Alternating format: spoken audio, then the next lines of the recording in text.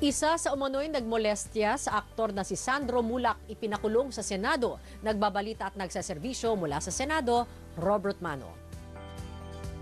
Ipinakontempt sa Senado ang isa sa inakusang ng molestya umano sa aktor na si Sandro Mulak dahil dito kulong sa Senado ang TV director na si Jojo Nones. Ipinakontempt si Nones ni Senator Jinggoy Estrada dahil sa umano'y paulit-ulit na pagsisinungaling sa pagdinig ng Senate Committee on Public Information and Mass Media.